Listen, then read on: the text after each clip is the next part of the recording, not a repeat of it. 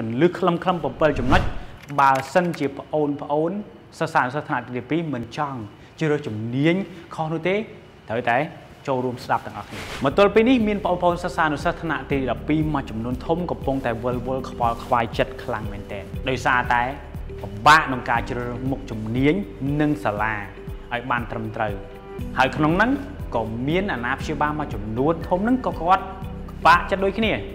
ដោយសារតែមិនដឹងថាគួរជួយកូនក្នុងការជ្រើសរើសនៅការសិក្សាថ្នាក់ឧត្តមសិក្សានិងសាលាយ៉ាងដូចម្តេចឲ្យបានត្រឹមត្រូវពីព្រោះថាបើសិនជាជ្រើសរើសខុសសាលាខុស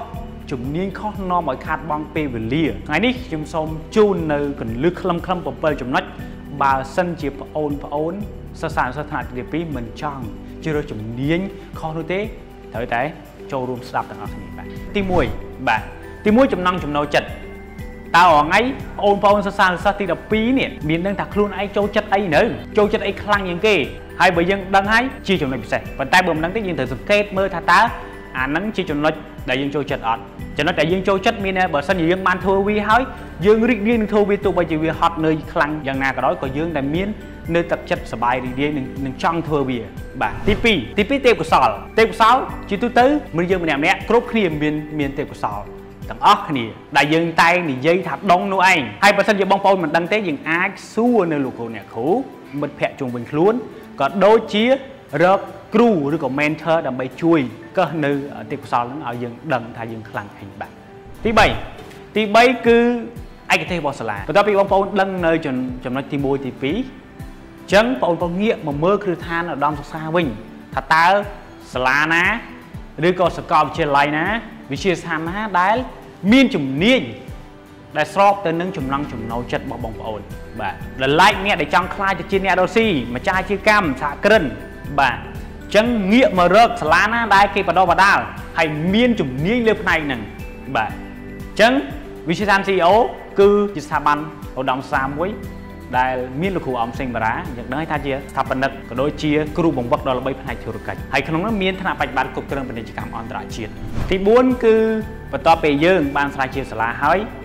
គឺយើងមកមើលកម្មវិធីសិក្សាតើតើគេរៀនដូចម្ដេចហើយនៅពេលដែលចូលរៀនហើយហ្នឹងណានិស្សិតគាត់រីកចម្រើនយ៉ាងដូចម្ដេចជាក់ស្ដែងរៀនជំនាញគ្រប់គ្រងពាណិជ្ជកម្មអន្តរជាតិនៅសាលារបស់លោកគ្រូអមសិងបារារៀនទ្រឹស្ដីតែ20ទេ តែអនុវត្តជាក់ស្ដែងសារភ្ជាប់នឹងមេរៀននេះរហូតដល់80%ទី5ពាក់ព័ន្ធទៅនឹងគេឈ្មោះរបស់ស្ថាបនិកបាទឬក៏ឈ្មោះសាលាតើតើសាលាឬក៏ឧត្តមសិក្សាដែលយើងចង់ចូលទៅរៀននឹងតើគេឈ្មោះរបស់អ្នកដឹកនាំស្ថាបនិក របស់សាលាគេឈ្មោះរបស់សាលាហ្នឹងមានភាពល្បីល្បាញឬក៏មានការទទួលស្គាល់នៅក្នុងសង្គមកម្រិតណាជាក់ស្ដែងលោកគ្រូអំសេងបារាបានទទួលពានស្ថាបព្រឹកឆ្នាំពីឯកឧត្តមបណ្ឌិតហ៊ុនម៉ាណែតអគ្គមេបញ្ជាការរងកងយុទ្ធពលខេមរៈភូមិន្ទនិងជាមេបញ្ជាការកងទ័ពជើងគោកហើយអាកន្លែងចំណុចនេះហើយគឺជាគុណតម្លៃបន្ថែមនៅពេលដែលនិស្សិតបានចូលរៀននៅសាលាដែលមានកេរ្តិ៍ឈ្មោះមានស្ថាបនិកដែលមានកេរ្តិ៍ឈ្មោះល្អទី6 គឺអត្ថប្រយោជន៍បន្ថែមខ្លឹមខ្លឹមផ្ដល់ជូននិស្សិតជាក់ស្ដែងនៅវិទ្យាស្ថាន CEO គឺបានផ្ដល់ជូននៅអត្ថប្រយោជន៍បន្ថែមពីកម្មវិធីសិក្សារយៈពេល4ឆ្នាំ មានដូចជាការសិក្សានៅជំនាញកុំព្យូទ័រជំនាញភាសាចិននិងភាសាអង់គ្លេសរយៈពេល4ឆ្នាំពេញតែម្ដងបាទបន្ថែមទៅនឹងក៏មានកម្មវិធីសិក្សាជំនាញបំលាស់ប្រែជីវិត ដែលធ្វើឲ្យនិស្សិតនឹងមានការផ្លាស់ប្ដូរលក្ខណៈវិជ្ជមានខ្លាំងមែនទែនបាទ អ្វីដែលកាន់តែពិសេសនេះគឺនិស្សិតគាត់នឹងមានជំនាញមួយទៀតគឺជំនាញគ្រប់គ្រងពាណិជ្ជកម្មអន្តរជាតិនឹងតែម្ដងចំណុចទី7នៅវិទ្យាស្ថាន CEO បានផ្ដល់ជូននៅឱកាសយ៉ាងច្រើនសម្រាប់និស្សិតក្នុងនោះវិទ្យាស្ថាន CEO បានផ្ដល់ឱកាសអាហារូបករណ៍20កន្លែងបាទដោយមួយកន្លែងមួយកន្លែងហ្នឹងគឺពេញតែម្ដង4ឆ្នាំស្មើនឹងទឹកប្រាក់10000ដុល្លារហើយការសិក្សាទៀតសោតនៅក្នុងហ្នឹងក៏ផ្ដល់ឱកាសជូននិស្សិតបានចុះទស្សនកិច្ចសិក្សា ទាំងក្នុងនិងក្រៅប្រទេសដើម្បីចុះអនុវត្តផ្ទាល់ការងាររបស់គាត់នឹងសារភ្ជាប់នឹងទ្រឹស្ដី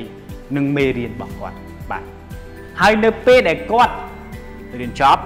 និស្សិតមានឱកាសបន្ថែមទៀតក្នុងការចូលរួមប្រគួតប្រជែងទៅសេផែនការអាជីវកម្មដើម្បីទទួលបានទុនយកមកវិនិយោគយកមកបើកអាជីវកម្មស្របតាមផែនការអាជីវកម្មដែលគាត់ទៅសេតាមក្តីសម័យរបស់គាត់ឲ្យខ្លាយជាការពិតដើម្បីអនុវត្តជាក់ស្ដែង ហហើយក្នុងនោះចុងក្រោយរៀនចប់វិទ្យាស្ថានធានាតែផ្ដល់ជូននៅការងារធ្វើប៉ុន្តែនៅនេះជាក់ស្ដែងតែឆ្នាំទី2និស្សិតមានការងារធ្វើហើយបាទអញ្ចឹងខ្ញុំសូមជូននៅកលឹះខ្លឹមខ្លឹម7ចំណុចនេះដើម្បីឲ្យបងប្អូនទាំងអស់គ្នាយកទៅពិចារណាត្រៀមខ្លួនដើម្បីកុំឲ្យជ្រើសមុខជំនាញខុសបាទអរគុណទេសជាតិមួយខ្លាំងគឺអាស្រ័យទាំងស្រុងលើធនធានមនុស្សខ្លាំងដើម្បីចូលរួមកសាងគុណភាពធនធានមនុស្សកម្ពុជា ឲ្យកាន់តែខ្លាំងវិជាស្ថាន CEO សូមទទួលស្វាគមន៍សិស្សនិស្សិតមកទទួលការបណ្ដុះបណ្ដាលនៅវិជាស្ថាន CEO ថ្នាក់បរិញ្ញាបត្រគ្រប់គ្រងពាណិជ្ជកម្មអន្តរជាតិសិស្សនិស្សិតដែលមកសិក្សានៅវិជាស្ថាន CEO នឹងទទួលបានការបំពេញឲ្យខ្លាយជាបុគ្គលិកពូកែអ្នកដឹកនាំពូកែអ្នករកស៊ីពូកែការរៀនអនុវត្តជាក់ស្ដែងនឹងទទួលបានជំនាញពិតប្រាកដ100% ការបង្វឹកដោយអ្នកជោគជ័យក្នុងអាជីពនិងអាជីវកម្មពិតប្រាកដការសិក្សាបន្ថែម លើជំនាញភាសាចិន ភាសាអង់គ្លេសជំនាញកុំព្យូទ័រជំនាញទំនាក់ទំនងនិងជំនាញនិយាយជាសាធារណៈការធានាការងារធ្វើ បន្ទាប់ពីបញ្ចប់ការសិក្សា នៅពេលបញ្ចប់ការសិក្សា នៅវិទ្យាស្ថាន CEO និស្សិតនឹងទទួលបានជំនាញច្បាស់លាស់អាចធ្វើការក្នុងទូនាទីជាអ្នកដឹកនាំនិងទទួលបានប្រាក់ចំណូលខ្ពស់ ជាមួយវិទ្យាស្ថាន CEO យើងរួមគ្នាកសាងធនធានមនុស្សកម្ពុជាឲ្យកាន់តែខ្លាំងលើឆាកជាតិនិងឆាកអន្តរជាតិព័ត៌មានបន្ថែមសូមតាក់ទងទូរស័ព្ទលេខ023ការ៉េ6 555 023ការ៉េ6 999វិជាស្ថាន CEO ខ្លាយជាបុគ្គលិកពូកែអ្នកដឹកនាំពូកែ អ្នករកស៊ីពូកែ